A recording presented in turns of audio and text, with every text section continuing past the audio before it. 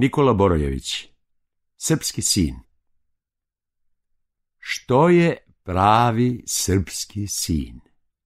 Čovek kao i dragi kamen, obnim svijetom koji se krasi, mečtanija blesak i plamen, kog ne može da ugasi kad napija zlatnu čašu za budućnost bolju našu, zlatnu kao nebesni krin.